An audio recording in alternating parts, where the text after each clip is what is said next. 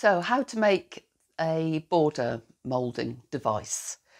If you're using the simple technique, piece of, this is dowel, but any piece of wood with a, a sharpened end, which you can do with a knife, um, that's easy. If you're using this sort of device, then um, you can use um, this sort of saw to, to cut the shape. The advantage of this saw is that you can loosen the end and alter the angle of the blade, which is a very fine blade. Tighten up the end and you can angle in there and you can get round it. So that one's ideal for cutting these shapes. Once you've got it cut to, to um, the shape that you want, and you can use this for more complicated shapes as well. That's, that's um, if you want a double curve perhaps. Um, then chamfer it down each side so it's sort of pointed in the middle and you to do that I tend to use a, a file like that or a smaller one perhaps for a bit more detail and uh, a chisel can be good as well. So that's those two.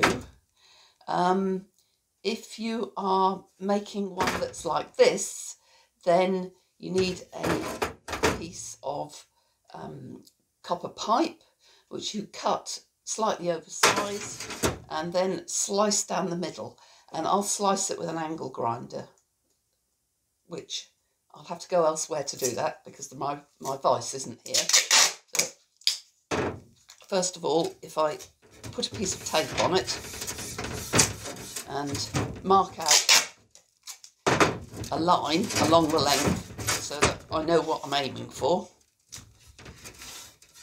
then that will make the angle grinder work easier if I put one line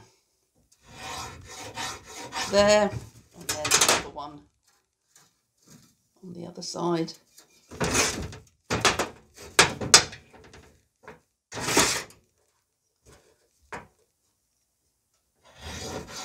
There, like that. And then I'll use the angle grinder to cut along that length and chop a piece off of a suitable length, slightly oversized. So I'll go and do that and I'll come back and carry on.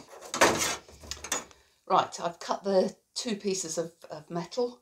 Um, one turns out to be deeper and one shallower. I think we'll choose the shallower one and work with that. And it's fairly solid to the surface, but it definitely needs tidying up with rasp. So that's what I'll do next.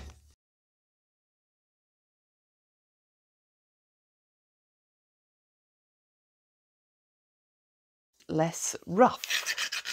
And once you've done that, offer it up to the surface and make sure it sits well because if it sits flat on the surface, it'll work well on the wall. You don't want it to be wobbling around. So having done that, then you find a piece of timber to make a handle and then connect the two with some car body filler. And to do that, I'm going to need some gloves and some car body filler. This is car body filler with fiberglass in, so it's the one for filling holes. It's because it's stronger. It's probably far more than I need actually. Hardener and mix it up. Right, then you can plaster this all over the edge of your handle. And then do the same on the back of here.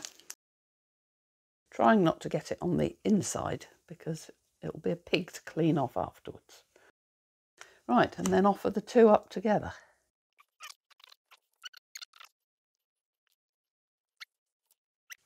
And the same the other side because what you don't want to have is lots of hollows so that the plaster gets caught in them. You want to fill in all the gaps with your car body filler if you can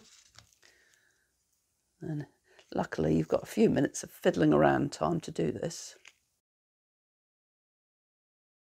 I'll try and clean off the rough edges as much as I can because the more I can clear clean it up now, the less tidying I'll have to do once the car body fill is set. There we are.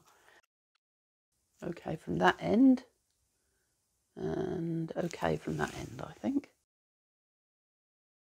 Good, so I think I'll leave that now and let it set. Right, the border mould has set and um, is ready for moving on with the next stage. This is what we're aiming for, is a, a 45 degree chamfer here and here. So I'll first of all give it a bit of a clean up because the, the uh, card body filler is a bit all over the place. Um, mark out the 45 degrees. A bit of tape is useful for that. It's not ideal really. What we need is a good 45 degree angle like that one. That's looks better.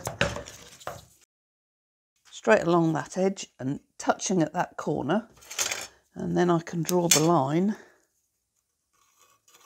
across there at 45 degrees. And then I'll do the other side. But first of all, I will take this line straight down here. And it's already straight down there. Down here. So line this up top edge so it's right angles and bring that down there. And then it needs to join back to where it first thought of. There. So this bit here here and here is the bit that needs to be cut off. And it's mostly timber bit of car body filler and a bit of metal. And I think what I shall probably do is run through that with an angle grinder and then I might carry on with a saw perhaps. We'll see how that works. And the other side needs to be done to match so that you've got, there we are, that way. So you've got a slope in here and a slope in here. And um, I'll go away and do that and then show you the finished product. Right, so the, um, the border mould's now cut at nice 45 degree angles. And if I strip off the, uh, the only thing left to do is to oil it up because um, oiling it tends to help stop the, the plaster sticking to it when you're using it. So it's worth putting quite a bit of oil onto it. Any sort of oil will do. And uh, then leaving it for a little while to soak in. And then it'll be a more well-behaved mould. There you go.